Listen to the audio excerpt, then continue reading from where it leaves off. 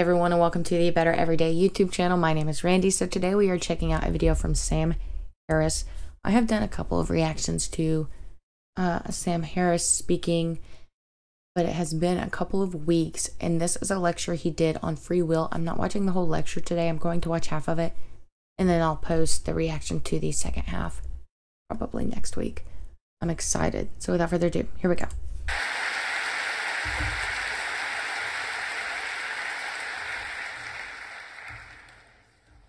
Um, it really is an honor to be here. Such a beautiful venue and, and uh, to be following the other uh, horsemen. It's, it really is it's great to be here. Now, I'm going to speak tonight about the delusion of free will. And to my surprise, this is an incredibly sensitive subject. It's perhaps the most sensitive subject I have had the, uh, the honor to touch. Uh, it's sensitive to religious people, of course, because without free will, Judaism, Christianity, Islam don't make any sense, if you can imagine such a thing. Uh, but the existence of free will is actually a, a very sensitive topic for atheists as well, because it seems to touch everything human beings care about. It seems to touch everything, in fact, that makes us distinctly human morality and law and politics and religion and intimate relationships, feelings of personal accomplishment, feelings of guilt and responsibility. Yeah. It's, it, seems that most of what we care about in human life depends upon, upon our being able to view other people like ourselves as being the, the actual conscious source of their thoughts and actions. So, in this talk, I, hope to do two things. I hope to convince you that free will is an illusion, and I hope to convince you also that, that, that this matters. And that's a, uh, those are quite distinct. And I want to begin, I hope on not too defensive a note, by telling you the two ways, the two most common ways of misunderstanding my argument. And this is sort of like beginning a marriage proposal by saying, here are the two most common reasons women haven't wanted to marry me. and why they were wrong. Now, the, the, first way of missing the point is to think that we, we simply don't understand enough. Science is incomplete. Some of our scientific assumptions may be false. There may be truths to discover about the, the nature of the universe that would put free will, the, the popular notion of free will, on some new footing. So it's, it's simply too soon to say scientifically that free will is an illusion. Th- this is not true. This is, I, I am arguing that free will as a concept is, is so incoherent that it can't be mapped onto any conceivable reality. The, the, the, second detour you might be tempted to take, as many have, is to say, well, of course, the popular notion of free will doesn't make any sense, it doesn't fit the facts, but not, none of that matters. That's an academic argument. We still feel free. This changes nothing. It's, it's sort of like saying that, that uh, atoms are mostly empty space. You know, this is, this is not empty space we can use. Nothing about our life changes. You know, everything is mostly empty space, but I still can't fit into an old pair of pants. Many people agree that free will doesn't make any sense and that it's some kind of illusion, but they think that nothing important changes. And, and that also, on my view, is untrue. Imagine t- you're taking a nap in the, the botanical garden next door. I don't know if that's legal or not, but just mm-hmm. imagine you do it. And you, you are awakened by an unfamiliar sound, and you open your eyes and you see a large crocodile about to seize your face in its jaws. Uh, stranger things have probably happened. It should be easy enough to see that you have a problem. Okay? And now swap the crocodile for a man holding an axe the problem changes in some interesting ways, but the, the sudden emergence of free will in the brain of your attacker is not one of them. But imagine the difference between these two experiences. Let's say you survive your ordeal and you, you have a, it's a terrifying experience. Let's say you're injured. Let's say you lose a hand. Okay, now imagine confronting your human attacker on the witness stand during his trial. Okay, if you're like most people, you are going to feel feelings of hatred that could be so intense as to, uh, as to constitute a further trauma. Okay, you, might, you might spend years of your life fantasizing about this person's death. How much time are you going to spend hating the crocodile? I have a question. So I see what he's saying as far as if you wake up and you're being attacked by a crocodile versus you wake up and you're being attacked by someone with an axe, the person's possible free will is really irrelevant if you're being attacked by one or the other because the crocodile I don't know if he's suggesting doesn't have free will. Um and he is saying that if you were attacked by the person, you would fantasize about that person dying, but you probably wouldn't fantasize about the crocodile dying. Well, no, you probably would. But he also mentioned something about being on the witness stand or if the person attacked. If a person, if a human does not have free will, then why go through the trouble of having a trial because we wouldn't have a trial for the crocodile? The crocodile either will just be left alone because it's a crocodile, it's going to do what it's going to do, or it will be killed for attacking someone. So if he then is suggesting that the man does not have free will, then either who cares because the man's going to do what the man's going to do and just axe people randomly, or just have him killed because it's in his nature. It is not a free will. He's going to do it again, just like the crocodile would do it again. So, I don't know. It just, uh, when he mentioned being on the witness stand and comparing the person to the crocodile, it made me think of that. You might even go to the zoo to, to, to take your friends and family to the zoo for fun just to look at him. You'd say, though, that is the beast that almost killed me. Yeah, do that with a man, put him in the zoo. Well, he might be pointing mm. with, with this hand.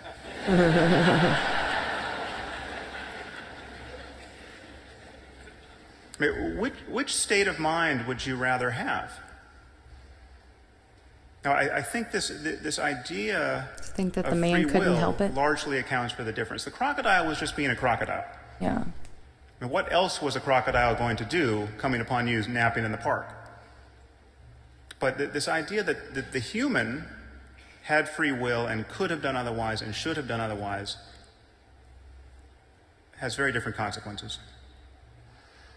Now, most people imagine that a belief in free will is necessary for morality. Morality has to be grounded in this idea, and it's necessary, for, therefore, for getting most of what we want out of life. And I think that's clearly untrue. We, I, you know, I, the, the difference between happiness and suffering exists with or without free will. I mean, I no more want to be eaten by a crocodile than I want to be killed by a man with an axe. These are both very good things to avoid.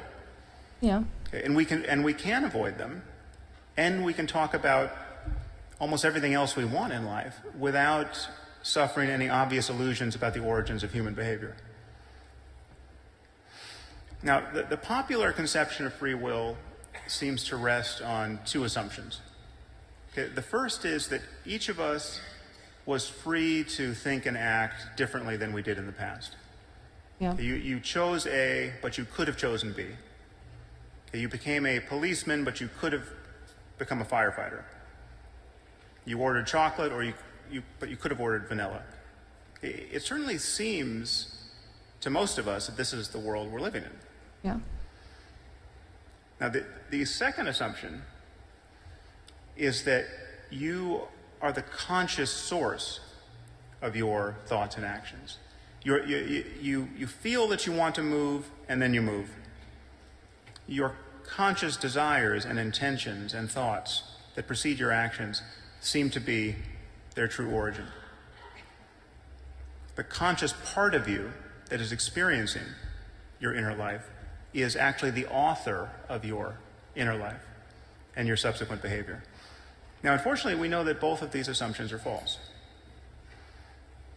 The first problem is that we live in a world of cause and effect.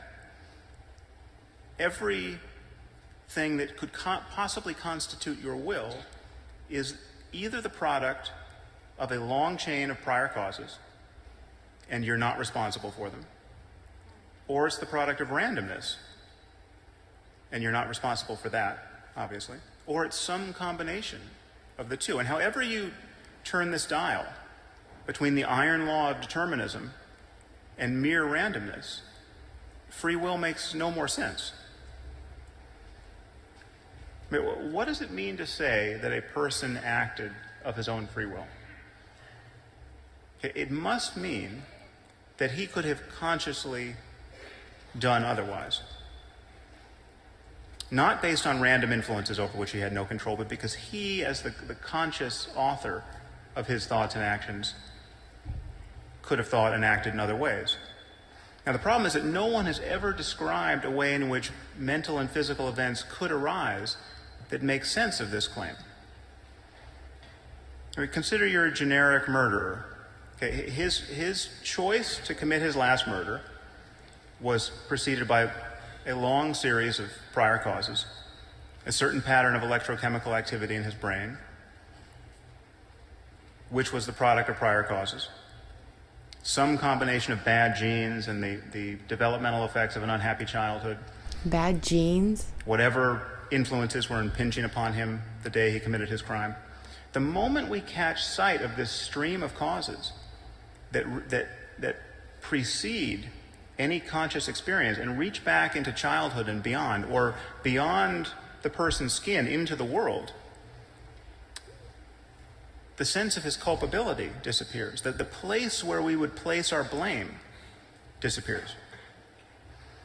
To say that he. There is a lot. Well, I don't know about people that say free will is a myth, but there are a lot of people who suggest that people are not responsible for their actions.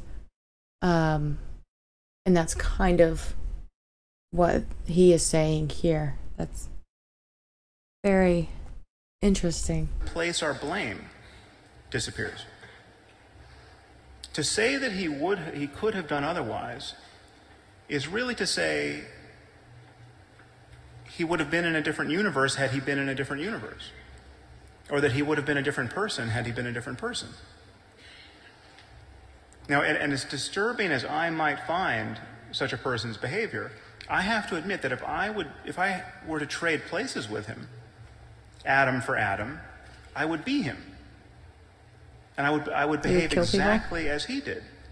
And for the same reasons. There's, there's no extra part of me that could resist the impulse to victimize innocent people. I mean, even if you believe that every human being harbors an immortal soul, this, this problem of responsibility remains. I cannot take credit for the fact that I don't have the soul of a psychopath. if I had truly been in this person's shoes, if I had an identical brain or, a, or an identical soul in an identical state, I would have behaved exactly as he did. You can't you can't verify that though. There's no way to verify that claim. You cannot actually do what you just suggest him putting himself in that person's body with that person's mind in that person's situation yada yada yada yada so it's an uh, there's a word for that like a claim or a hypothesis that can never be verified there is a word for it and i can't remember it so, so the role of luck in our lives appears decisive one has to be very unlucky to have the mind and brain or soul of a psychopath but the moral significance of luck is very difficult to admit. It seems to completely destabilize us.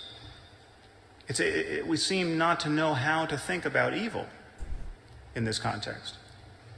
And yet, in, in specific cases, we have already changed our view of evil. Whenever, whenever we see the cause of someone's behavior, when we see, for instance, that a, a murderer had a brain tumor, and the brain tumor was in just such a place in the brain so as to explain his violent impulses, that person suddenly becomes a victim of biology.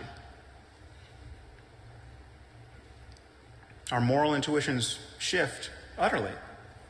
Now, I'm arguing that a brain tumor is just a special case of physical events giving rise to thoughts and actions. If we, if we fully understood the neurophysiology of any murderer's brain, it would be as exculpatory as finding a tumor in it. If we could see how the wrong genes were being relentlessly transcribed, if we could see how his, his early life experience had sculpted the microstructure of his brain in just such a way as to give rise to, to violent impulses, the, the, the whole con- conception of placing blame on him would erode. Now, of course, this is a problem that scientists and philosophers are, are aware of, and many think they have put forward a, a notion of free will that can, that can uh, withstand the, um, the facts. And I'll deal with some of that. There appears to be a poltergeist in this computer. Uh, but I want to, I want to argue for a moment that the, the problem of free will is actually deeper than the problem of cause and effect. I mean, most people think we have this experience of free will, and simply, simply we can't map it on to physical reality. I think this is an illusion. The, the, the free will doesn't even correspond to a subjective fact about ourselves. And if you pay close attention to your experience, you can see this. Your, your thoughts simply appear in consciousness very much like my words. What, what are you going to think next? What am I going to say next? I could, I could start just wondering about why we don't eat owls. Why don't we eat owls? They seem perfectly good. Good question. Where did that come from? Well, as far as you're concerned, it came out of nowhere. Right? But the same thing happens in the privacy of your own mind. It's, it's happening right now. You've all made an effort to be here tonight, presumably because you wanted to hear what I had to say about free will. And you're, you're trying to listen to me, but you have a voice in your head that just says things. Haven't you noticed? Now, I'm standing up here trying to reason with you, and you'll think, he looks a little like Ben Stiller. Somebody said that in the comments to the last thing I reacted to from Sam Harris. I thought it was funny.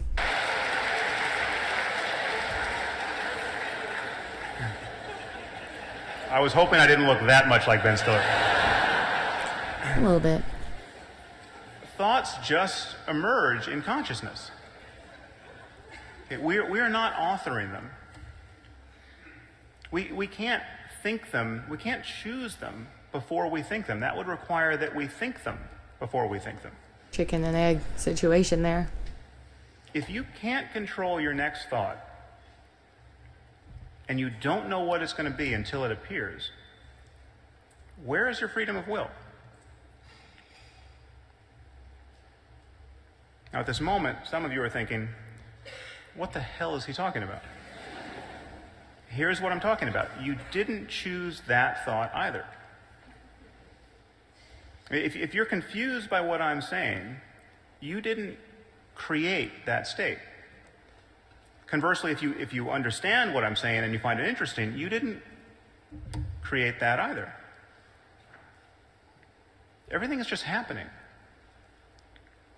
And that includes your thoughts and intentions and desires and your most deliberate efforts. We will come back to that point. Uh-huh. So, as of right now, I'm going to pause just for a second.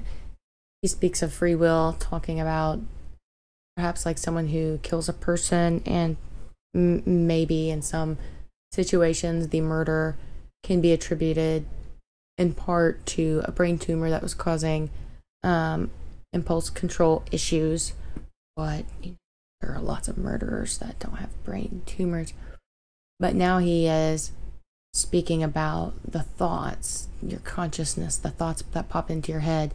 Whereas the free will, if you don't determine what the next thoughts are that pop into your head. But I think with the free will, I don't really necessarily think about that voice in your head. I, in my own perspective, I would view those as separate things that maybe collaborate. I don't know. But to me, free will is action, not the voice in your head. Um, I tried to control the voice in my head when I was like 13. I was like, that's pointless. Not that quickly. I tried for a while. Anyway, uh, moving on. Now, of course, in a sense, your brain, our brains, do think our thoughts before we think them. Because there's a lot and of thoughts many you don't want. that we never hear about. A lot. We're, we're conscious of only a tiny fraction of what goes on in, in our minds. And we, we continually notice changes in our experience, in thoughts and intentions and moods and resulting behavior. But we are utterly unaware of the, the neurophysiological changes that, that produce those, those, those changes. I mean, consider the sensation of, of touching your finger to your nose. Okay, feel free to try this. It seems simultaneous. It seems like the nose touches the finger at the same time the fi- finger touches the nose. Okay, and, and while it may be simultaneous in the, in the world, we know at the level of the brain the timing has to be different. It simply takes longer for the input from the fingertip to reach sensory cortex than it does from the nose. And this is true no matter how short your arms or long your nose. Arms. So the experience of the present moment, even of the simplest sensation, is built upon layers of unconscious processing that we're not aware of. Okay, so, so even the apparently simple conscious events are not entirely what they seem. The, the, the, the present moment is, in some sense, already a memory that is being buffered. now, needless to say, this unconscious mach- machinery produces not only our perceptions, but our thoughts, intentions, actions, decisions. And this is where the notion of free will and moral responsibility begin to get squeezed. Now, many people have demonstrated in a lab, in many labs actually, that, that a person's conscious decision comes after processes that can be detected. And there's a, there's a time lag between the moment you think you've decided to do something and the moment at which your brain decided. And this has been proven. Benjamin Libet did this with uh, EEG, and this has been done with fMRI, and, and actually direct recordings from the, the, the cortices of, of patients under, about to undergo surgery. We know that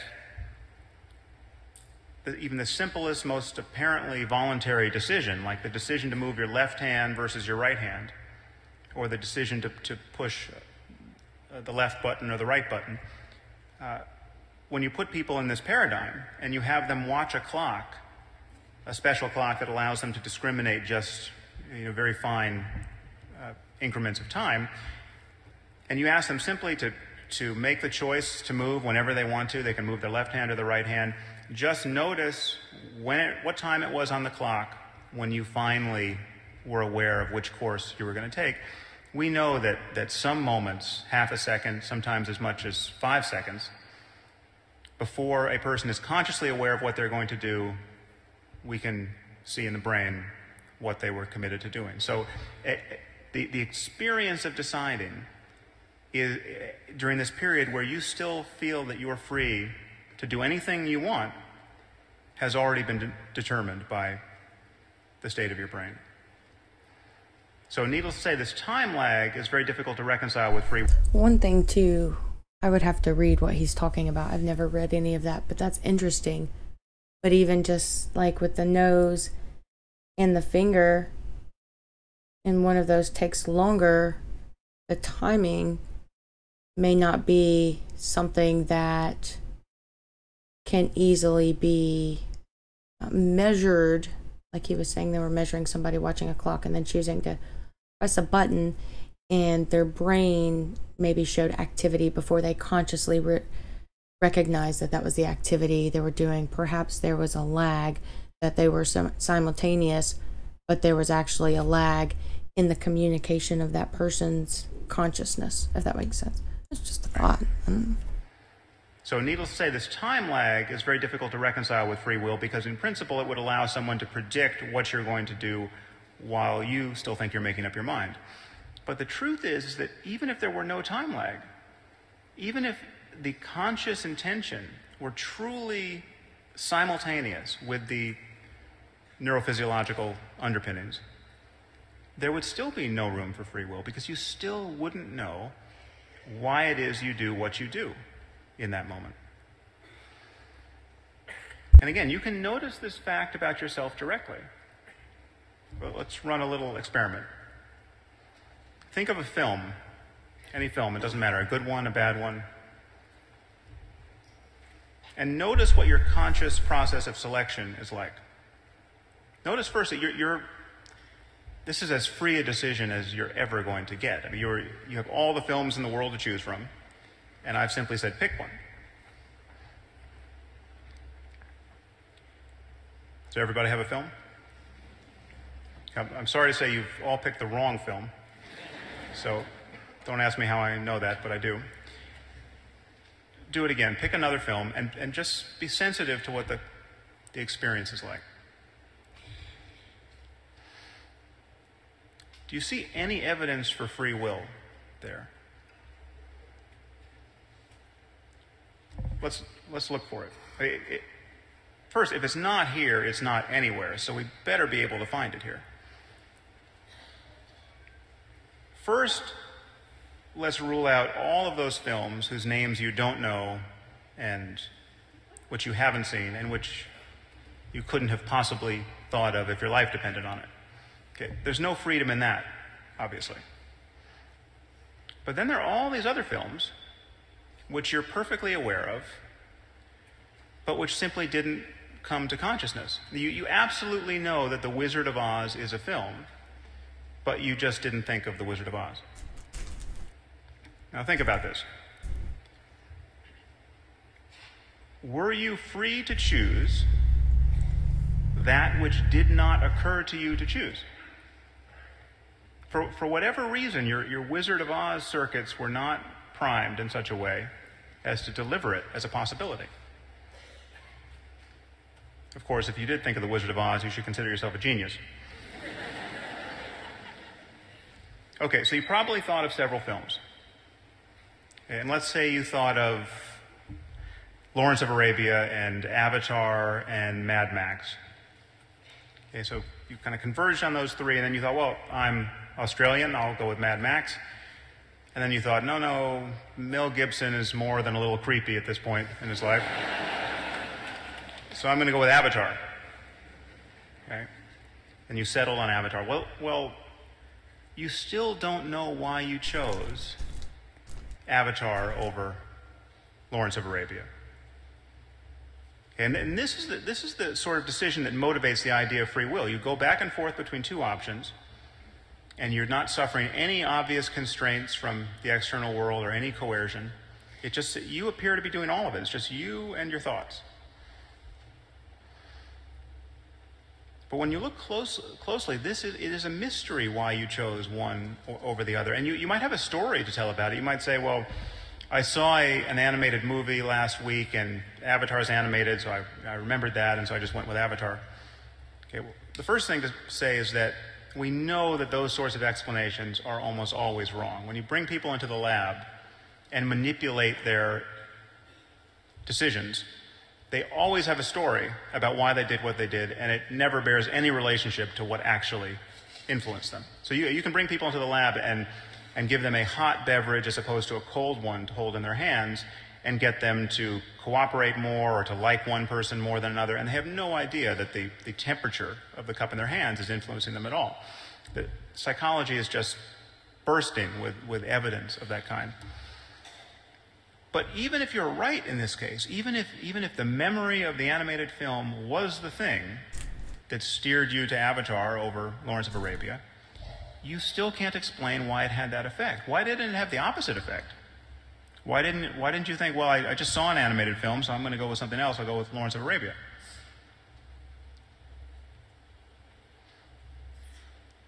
The, the thing to notice about this is that, that you, the conscious witness of your inner life, isn't making these decisions. All you can do is witness these decisions.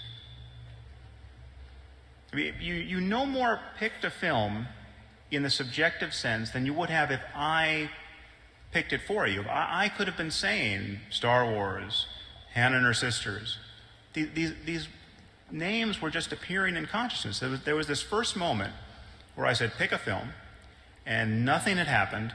And then all of a sudden, the names of films started coming to you.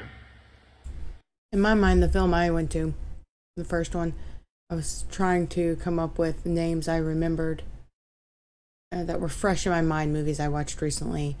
And so my mind pro- pros like 10 recent memories. And I was like, oh, yes, that was my favorite of those things. That was my connection. Um, but in some ways, it, as me listening to him, which I'm not a psychologist, I do like to read um, studies, um, scientific research from different areas, but I'm not familiar specifically with his work. But to some degree, I see it as something that cannot be um, cannot be observed and measured and completely understood by the scientific slash psychological community so therefore it does not exist um, at a time um, planets in outer space didn't exist if that makes sense. So that's i'm not saying he's wrong i'm just saying we only know what we know. And so there are a lot of things that cannot be explained but it based on what he has said so far, he cannot prove that it does not exist. He is theorizing that it does not exist and telling us why. And I understand his why, but um, there are other things like free will. That's what he's speaking about, but that's not the only thing that has ever been proposed to have not existed because it cannot be understood, it cannot be measured, or there has been a study or two to suggest that it doesn't. There are studies to suggest a lot of things, and well, I don't know about every single field, but in a lot of things that I have read, there are studies that directly contradict one another. These studies findings will suggest that this is wrong and this is right, but then these studies suggest the direct opposite. But what he's saying is interesting, um, nonetheless and you didn't know which they would be until they appeared. So I'm arguing to you that, that our experience in life is actually totally compatible with the truth of determinism. We don't have this robust sense of free will the moment we actually pay attention to how thoughts and intentions arise. Also, it's a little depressing. The idea of Mm. you're just going through the motions that you have no decision in any of it. That is extremely depressing. And again it's important to notice that this is true whether or not we have immortal souls. And there's no the case i'm building against free will does not presuppose philosophical materialism. I'm not the, the idea that reality is just entirely physical. No doubt most of reality is entirely physical, and most of mind is, is produced by physical changes in our brains. We know that the brain is a physical system that's entirely beholden to the laws of nature. But even if we have souls that are somehow loosely integrated with the brain, the unconscious operation of a soul grants you no more free will than the unconscious neurophysiology of your brain does if you don't know what your soul is going to do next, you are not in control of your soul. And th- this is rather starkly obvious when you think of all of the people who do things they wish they hadn't done. I mean, think of the, the millions of, of Christians whose souls just happen to be gay. But it's true even when you do exactly what you wish you had done in hindsight. It, the soul that allows you to stay on your diet is just as mysterious as the soul that tempts you to eat cherry pie for breakfast. Okay, so consider those to say that urges, no one has ever argued for the take the existence of free will because it holds such promise as an abstract idea. The, the, the endurance of this problem in science and philosophy is the result of, of this feeling that most of us have that we freely author our thoughts and actions. Perhaps not our thoughts. And the- let me know in the the- comments because I don't want to misunderstand what he's saying. Would have been helpful if he had defined uh, some of his terms, like free will. What exactly he was that term when he said for, for says free will. What does that consist of? And this does that include thoughts and actions? Is that what he means? I don't know if I've heard free will used in a way that referenced both actions and thoughts. To some degree, thoughts for sure, but there are these like in, instinctual thoughts or perhaps things built in that pop into our heads that you have to push away. And I don't know anybody who hasn't things that you have to kind of suppress. Or, for example, diets. I was 300 pounds when I was 18. I did a lot of different diets and there were impulses, you know, things that fired up certain parts of me, like eat this, eat this, and perhaps gave in, perhaps not, but eventually reining that in and obviously not being 300 pounds anymore. But at this moment, unless you tell me in the comments otherwise, I'm going to assume for the rest of this that when he says free will, he is including your the voice in your head that often brings up thoughts that you have absolutely no control over just default knee-jerk thoughts some of which you probably would never never tell anyone. Tell me if i'm wrong but myself and like i said pretty much most people i've talked to about those knee-jerk thoughts there will be things that are just sh- shameful and you, you don't you just want those out of your mind as quickly as possible. Um so when he says free will i feel like he means those as well which I, I haven't studied free will from a psychology perspective but i wouldn't think that that would be considered to be part of free will. That would be like your neurons the things just that are automatically sent right there to your your conscious mind you know. Before you were able to kind of analyze and sort through those i don't want you. I'll look at you a little closer. You need to get out as well. Um, our thoughts and actions. And at the moment, the only philosophically respectable way to defend free will is to adopt a view in academic philosophy that's called compatibilism, and to argue that, that, that free will is compatible with the truth of determinism. Now, my, my friend Dan Dennett is a, uh, the philosopher is a, is a compatibilist, and he essentially makes the claim that we just have to think about free will differently. Free, if, if, if a murderer commits his crime based on his desire to kill and not based on some other thing that's hijacking him, but his actions are actually an expression of his real desires and intentions, well, then that's all the free will you need. But from both a, a moral and scientific point of view, this seems to miss the point.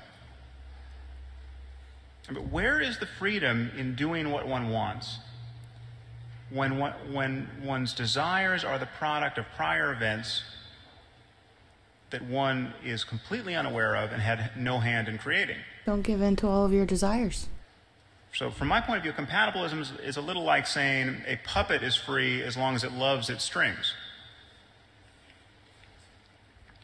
Now, compatibilists push back here. They say that, that even if our desires and thoughts and behavior are the product of unconscious causes, that doesn't matter because you're, you're, you are the totality of what goes on inside your brain and body. So your, your unconscious mental life, mental life is just as much you, and your unconscious neurophysiology is just as much you as your conscious inner life is. Okay, but this, to my eyes, seems like a bait and switch.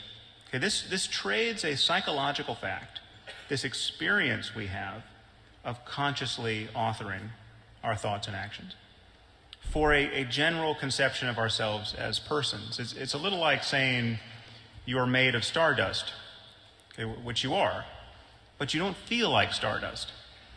And and, and the, the knowledge that you're a stardust is not driving your moral intuitions and influ- influencing our, our system of criminal justice.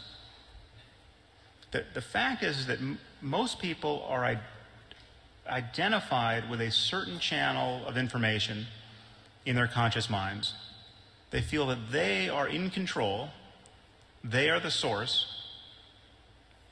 and this is an illusion. The, the you that you take yourself to be in this present moment isn't in control of anything. So compatibilists try, try to save free will by, by saying you're more than this. You are the totality of what goes on inside your brain and body.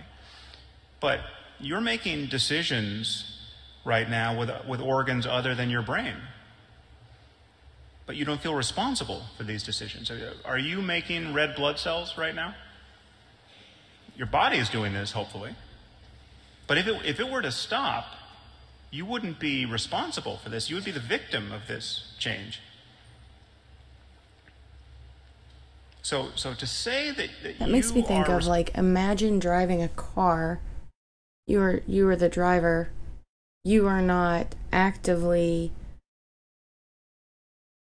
doing whatever is happening in the engine firing the engine that is happening because it's built into the car that you're driving. So separate those things. But he is saying more like you are not thinking about the fact that you are for example your heart is beating something like that. If it stopped beating kind of like if the vehicle stopped working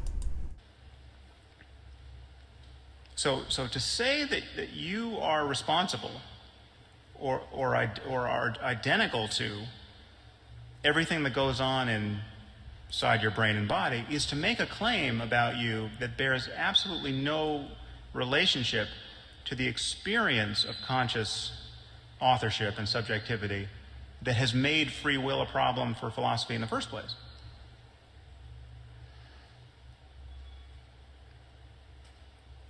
He's pausing, so I'm going to pause it here because we're so a little over halfway. So when I watch next time, I will, I will back it up to about right here. It's definitely interesting. I didn't know what to expect, but I definitely didn't expect where he's going with it. Um, just like most of the people I listen to on this channel, some of the things that he said I disagree with, but even so, I still find it very interesting because it's not something that I have looked into myself. But um, yeah, I look forward to watching the rest of it. Let me know what you thought of his discussion so far. And um, if there's anything I should look out for next time, if I should take notes, if you want me to speak less, speak more, whatever. Um, let me know in the comment and I will comments. And I will see you next time. Have a good one.